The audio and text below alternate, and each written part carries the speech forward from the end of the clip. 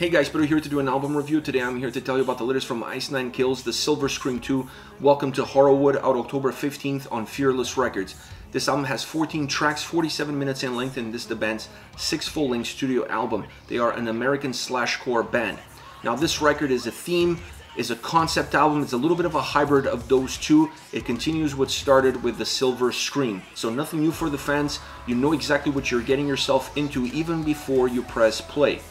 Now the structure of this record is really important and I think it's one of the highlights of the album. They were able to create a record that has an intro that sets the mood, it sets the concept in play for the listener in terms of what the overall record is all about and then it allows you to stay connected with every single song from that point forward because you're going to get 13 songs all 13 of them about 13 individual horror movies so there's a little bit of a disconnect in terms of the backdrop of the song and there's definitely a little bit of a disconnect in terms of what's happening within the song itself but the way they continue, the way they merge from one to the other allows the record to really feel as one. It allows the record to feel balanced, to feel cohesive, and to feel linear across all 14 songs. So this is an album that you press play, you get lost in it, and next thing you know, the album is over. It has incredible playability and has incredible fluidity. The way these songs merge with one another while still keeping their own individuality at play is outstanding. So you can listen to this album on an individual basis by playing one song here, one song there on shuffle, creating a playlist, whatever it is that you want to do. I still feel like you're going to get the essence of the songs individually. What they have to offer is still going to be there. It's going to be intact. But if you decide to approach this album from beginning to end, it, you almost lose track of where you are within the record because the songs musically are so well connected that all feels just like a straight line across all 14 tracks. Beautifully done. Once you get into the soundscape, the album continues exactly where the Silver Scream ended. It has the same musical attributes. You're going to get the same style, the same soundscape. You're going to get the same sound effects that come with each and every single song that allow you to, to feel the song a little bit deeper, to understand the root cause of that track, what inspired that track, what movie pushed that song into the forefront. All of that is still going to be present on this record across every single track all of that is there. So what they did before continues onto this record. I felt that they changed one thing and one thing only. They added a lot more heaviness on this album. Not to say that every single song is heavy with heavy breakdowns from beginning all the way to the end, but overall, when you reach the end of the record and you look back, there is a sense that this is a heavier album, that has more volume, that has more intensity, that has more aggression, all around. There's still melody, there's still ups and downs, there's still ebbs and flows within the individual songs, within the overall construction of the album, but overall this is definitely a heavier record. Within that sound, there are two elements that really drive the experience, and that is the drums and the guitars.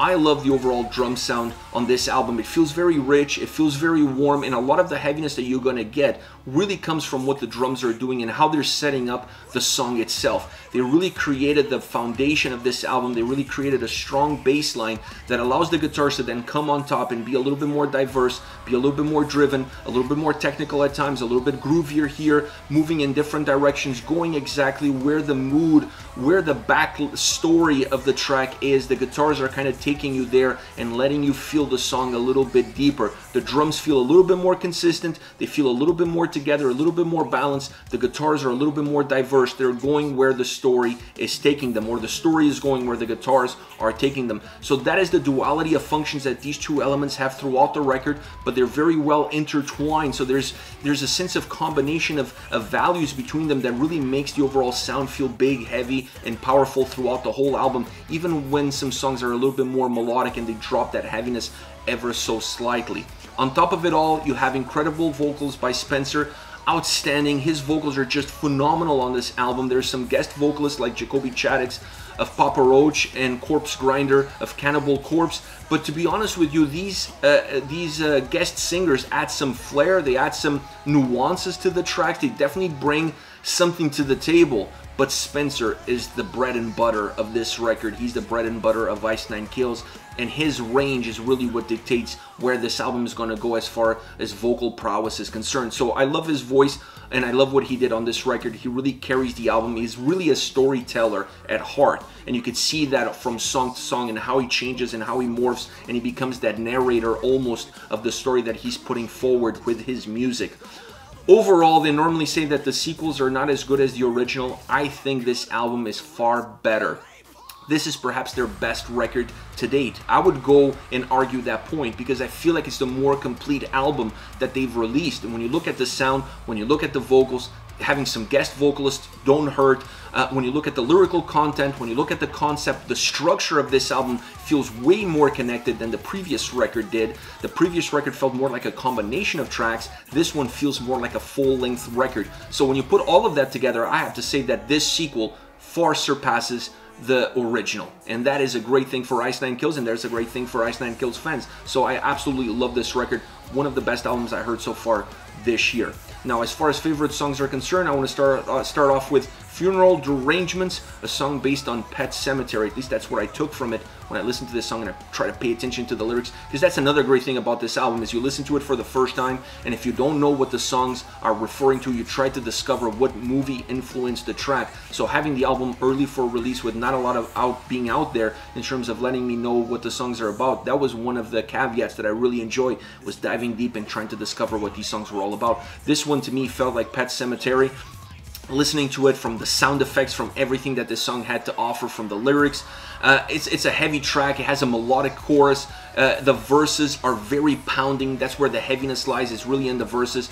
Musically and vocally it's just strong. Then when you get to the chorus the chorus feels a little bit hookier. It feels a little bit more catchy. It has a melodic undertone. There's still some heaviness there but that melodic undertone really spreads out and pushes the heaviness over the top. So it's a song that has ebbs and flows between verses and chorus. It has a, a, a, phenomenal breakdown that really feels heavy, that adds to the overall heaviness of the track, that really changes the dynamics of the song, and then overall allows this track to be one of the heaviest songs on the record. Next, we have Ex Mortis, a track based off of Evil Dead, Army of Darkness. Uh, I, I love this track because it sounds so different than everything else that came up until this point. It has a cabaret swing style sound to it. It still has heaviness, it still has great melody, but that undertone of cabaret swing is definitely present there. It adds a different vibe, it makes it for a fun atmosphere style track, and you see that musically and vocally as well. It matches the light-hearted nature of the movie Army of Darkness, which is a horror movie, but there's some comedy into it. I mean, you could argue there's comedy uh, also involved in the first two Evil Dead movies. So it's a it's a song that really represents that light-heartedness of that backdrop, and I really like that. I really like the swing vibe, the cabaret vibe that this track has. Really sets this track apart. One of the best sing-along songs in the metal world of this year. I don't think there's going to be another song out there in, in the metal world that's going to have this sing-along power that this track has.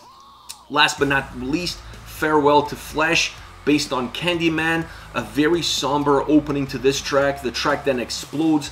The guitar playing on this song is outstanding. Definitely one of the highlights of the track is how the guitars sound, how they come across, how predominant they become, and the overall soundscape of this specific song. There's a lot of heaviness on this track, specifically in the verses. The chorus is perhaps a little bit more hooky, but still very heavy, but hooky because the vocals in the chorus change your perception of that portion of the song, and that's where the hookiness comes from. It's not from the melody of the track, it's not from the sound that the track has, but rather how the vocals are coming across and how those those vocals are coming at you. So a perfect track, very complete track, perfect way to end this record. This is it. Ice Nine Kills the Silver Scream 2. Welcome to Horrorwood. Let me know your thoughts on the band, on the singles. Use the comment section below. I'll be reading those and getting back to you. Take care, guys.